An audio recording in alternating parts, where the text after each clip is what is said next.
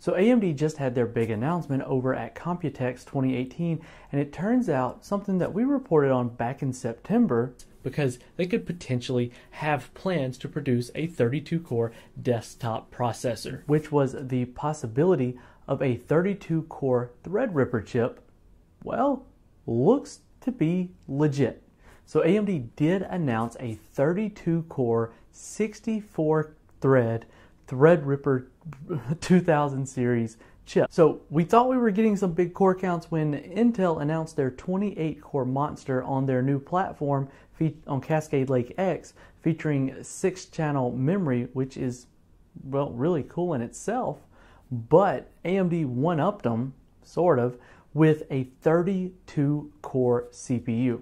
Now, not only is it a 32 core CPU with 64 threads, it actually works on existing X399 platforms. So you don't even have to go out and get a whole new platform. I mean, if somehow 16 threads wasn't quite enough, you now can go all the way up to 32 on the existing platform. So if you bought in with even like a 1900X and you really wanted to upgrade to something big later on, you're well, you can definitely go to something big now. Now, it is important to note that there are new motherboards coming out for X399, and we saw that MSI and their uh, their creator motherboards are have much beefier power delivery, and one can only assume that it is to handle the two extra dies on the Threadripper chip that are going to be activated.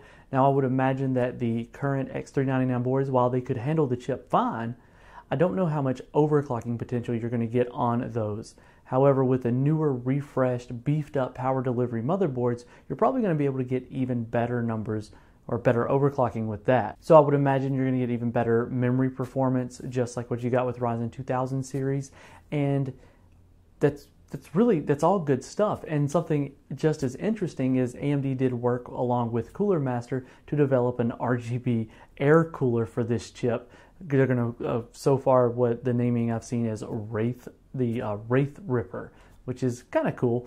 But what's interesting is while one company showed off their high core count chip using well some type of liquid cooling um, that was chilled to some some type, and yeah, they overclocked it to five gigahertz.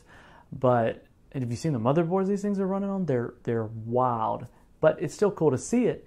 And you know, the fact that they're anticipating being able to run a 32 core 16 or sorry 32 64 thread chip on air is just nothing short of impressive so rather than asking you guys some wild question what i'd like to hear is what would you do with 32 threads and or 32 cores and 64 threads there's so many it's hard to keep them straight but um, love to hear from you guys down there in the comment section this has been Keith with WCCF Tech TV. If you'd like to see more about this particular topic, feel free to hit the link in the description below, and we'll catch you in the next video.